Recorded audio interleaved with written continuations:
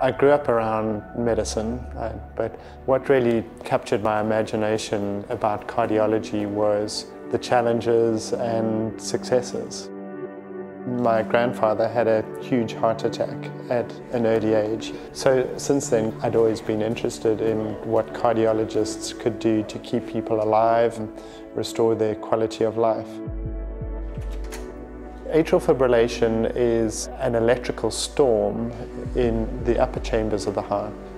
When a patient has an arrhythmia, it is frequently just a few abnormal cells, fractions of a millimeter, that are behaving in an abnormal way. And to successfully treat the arrhythmia, we need to find those abnormal cells. So catheter ablation has been an enormous advance we can completely cure people being plagued by difficult arrhythmia.